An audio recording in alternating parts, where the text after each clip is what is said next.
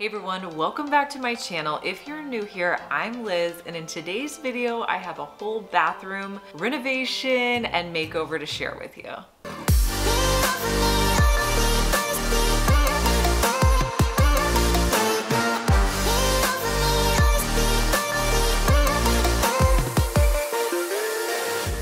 Back in January, Chris and I purchased a lake house and we are renovating every room pretty much in this lake house. Now, the room I'm gonna be sharing with you today was our biggest renovation. So how this renovation started is we wanted to put a bathroom in the primary bedroom. The primary bedroom was actually an addition that somebody had built on at some point and there was two closets in this room. So we kind of considered using one of the closets for the bathroom because there was a really big closet. We also considered taking some space out of the room to put a bathroom in. In the end, we decided let's go with the closet and that's where this whole process started. We started with a closet and we decided to convert it to a bathroom.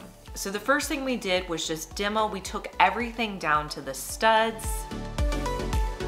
Next, we ran electrical. We needed to make sure we had electrical for two outlets up top. And then I also wanted to put some sconces by the vanity mirror, so we added electric there.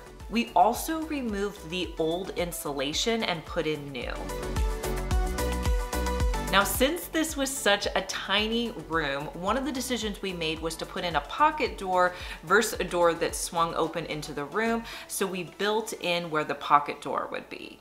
Next, we had to create framing for where our shower was going to sit. We made sure that our shower base fit. We had all of the plumbing installed for the shower, the toilet, and the sink that's gonna be on the vanity.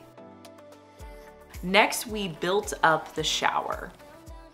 We then installed the drywall on the ceiling as well as the walls. Now, one thing that I really didn't want to do was we actually put knockdown texture on the ceiling as well as our walls. All of the walls in this house have this knockdown texture. So I went ahead and put it in this room, although I would have just preferred to put it on the ceiling. Now the floors were pretty interesting for this room. In the rest of the house, I'm using luxury vinyl plank for the floors and I found this product at Home Depot that is a luxury vinyl plank in like a marble, almost like tile finish. I thought it was really interesting. It was a great price point and I thought let's try that for the bathroom. So you lay it just like you would lay down luxury vinyl plank. We put an underlayment underneath because this is a bathroom, but I I really like the way it looks.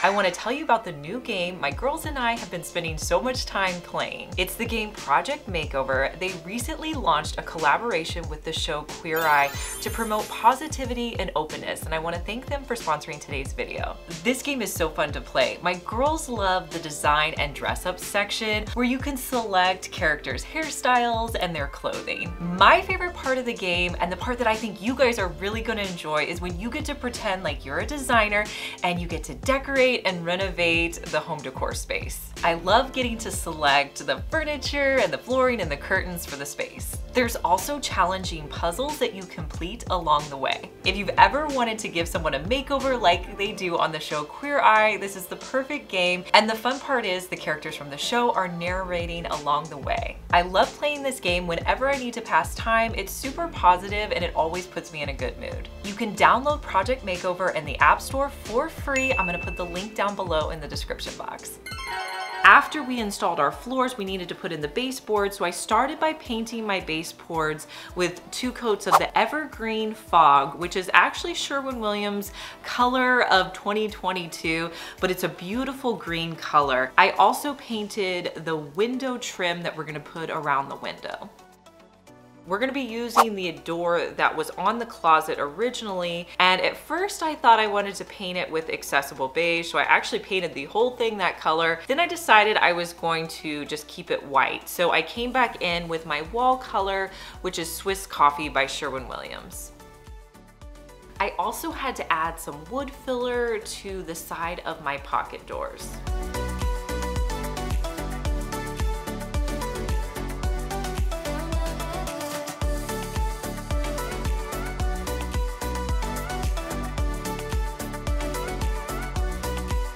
Painted the entire room, ceiling, and walls with Swiss Coffee at 70%, which is the color I've been using throughout the entire house. I've been getting a few comments where people are like, Liz, why do you get your paint at 70%? Like, I don't understand that. Well, the reason I do that is because Swiss coffee at 100% is a little yellow. I want it to be more neutral. So I find that at 70%, it makes it more of a neutral color. You can always change the opacity of paints to kind of adjust the color a little bit. I find that I do that more with white colors versus any other like blue or green color. Next, we added in the door casing.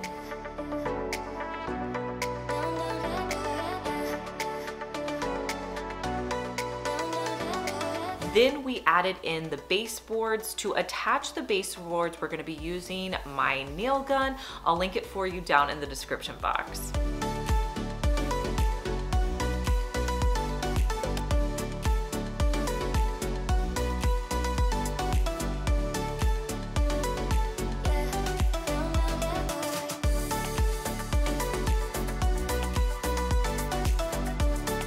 We framed the window with that fluted door casing. I love the way this looked. I actually went back and purchased more so I could put it in my bedroom.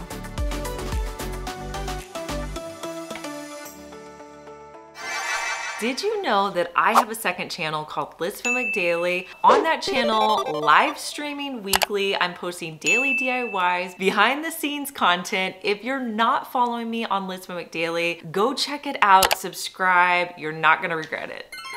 I wanted to add some beadboard to this room. I've actually never put up beadboard, so we bought it at Lowe's. Uh, it comes in like big four by eight sheets, and we just cut each of the sheets in half.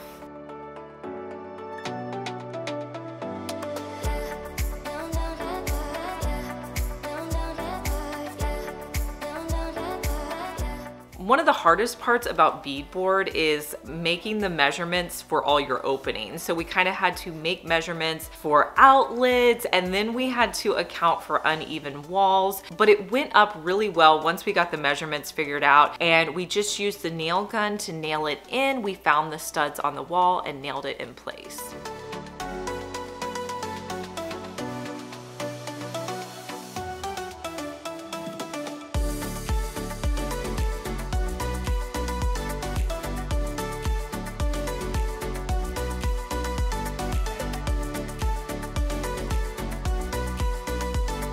One of the tedious tasks that I had to do was fill all the holes, but it's worth it in the end.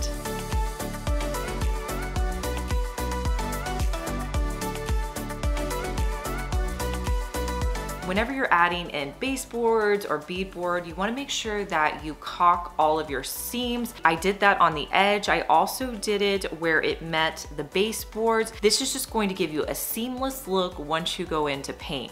It takes a while, but it's worth it.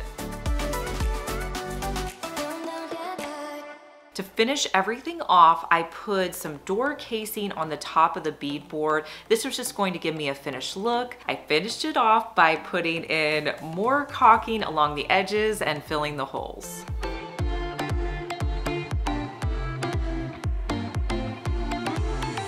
From there, it was a lot of painting. I actually had to use a brush to paint on that beadboard. I found that that actually worked better than using my roller. It took me a while to paint the baseboards, beadboard, and door casing.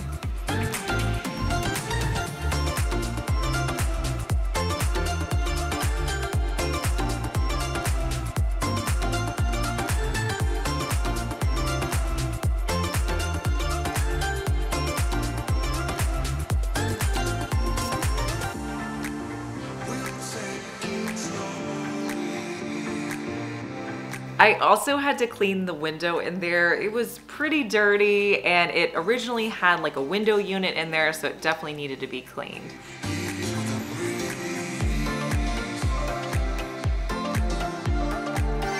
If you've made it this far in the video, thank you so much for watching. Comment the word of the day, which is vanity.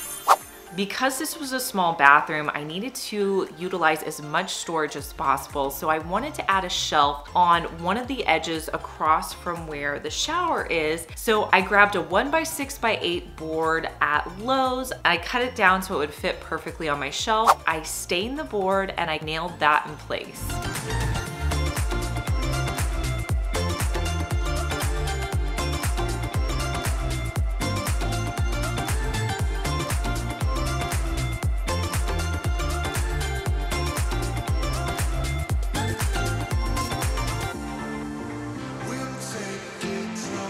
Added a little bit of caulking underneath the shelf and did some touch-up paint. Honestly, I spent a lot of time doing touch-up paint in this room because I wanted it to look great, but it was worth it. From there, we added in our lighting. Now, I am obsessed with the lighting. The ceiling lights are so pretty. We added in two. I also added in two sconces that are going to be on either side of the mirror. We installed the vanity as well as the toilet. I bought these very inexpensively at Lowe's. I also picked up a bamboo shade off of Amazon and put that in. I love bamboo shades because they provide enough privacy, but they also have texture to them, which I think looks really nice to kind of just add a little bit of dimension to your room.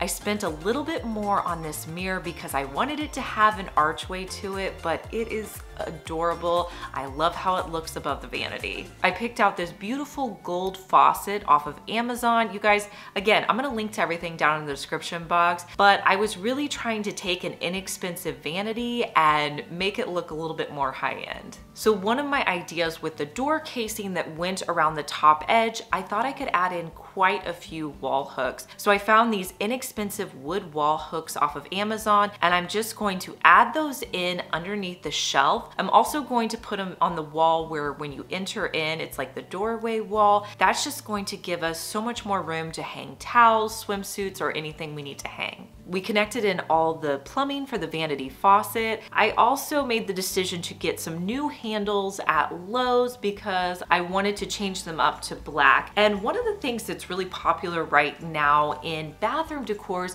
is mixing your metals. So don't be afraid to have black handles with a gold faucet. You don't have to do them all matchy matchy. You can definitely switch it up. Now we're getting to the fun part, which is a lot of the decor items. I thrifted this vase and I wanted to change up the color, so I spray painted it the color Nutmeg.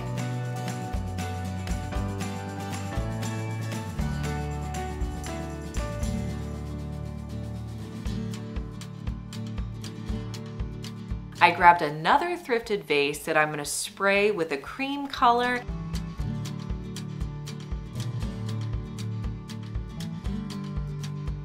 And I'm gonna add one of my new favorite spray paints, which is the Stone Texture.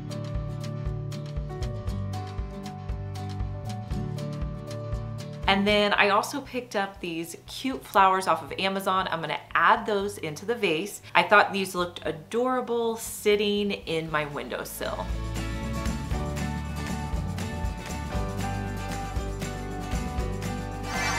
On my channel, I post a variety of videos. I do a lot of makeover videos, but I also do Dollar Tree, Ikea, Five Below DIYs. So I would love to know from you guys, do you enjoy seeing the home makeover videos? If you like seeing them, give me a thumbs up. I'll know to do more like it in the future. Next, let's style my shelf. I have been really enjoying picking up prints that you can download off of Etsy. And I've been printing these off of Amazon's print shop. You can actually upload prints to Amazon and print. They'll come in the mail. It's really inexpensive, so I like doing that. But I bought this set of like Etsy prints that had like boats and kind of water related items. So I'm gonna do a 16 by 20 print for this shelf. The frame I grabbed at Target. The vases are from Dollar General and this basket I picked up at Five Below. Now the basket is going to just give me extra storage in this room. In a previous DIY, I showed you guys how to create this Q-tip vase and I'm gonna add that in as well.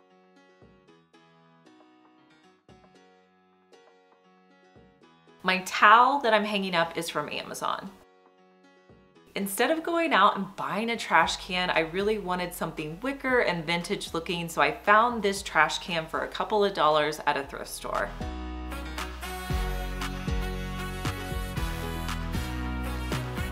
On the doorway wall, I wanted to add some prints as well above where I put the wall hooks. These are Etsy prints as well. I went with the 11 by 14 size and got the same picture frame from Target.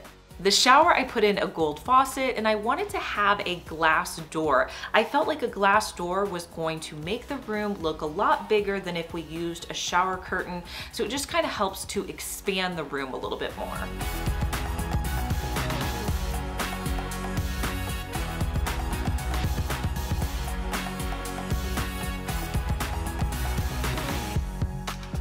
I put a hand towel over by the vanity. And of course I had to accessorize the vanity a little bit. I found this adorable plant from Ikea and this wicker plant pot. If you're looking for them now, I just bought them, so hopefully they're in stock for you. One of my tricks to make my soap look a little bit more high end is I like to get these glass bottles from Home Goods. They're usually under $5 and then you can just refill them as you run out of soap. I wanted to put a cutting board underneath the plant and my soap, so I had two options. You guys are gonna have to let me know which one you like better. The first option was one I got in the Target dollar spot for $5. It was more of a cutting board shape. And the other one was a rectangular cutting board that I picked up at a local store. Now let me know in the comments which one you think I should go with, either option A or option B. In the end, I went with the one that's in the rectangular shape but you never know. I could always change it out. I have to tell you guys, I make over a lot of rooms and this is honestly my new favorite room. I love how it turned out.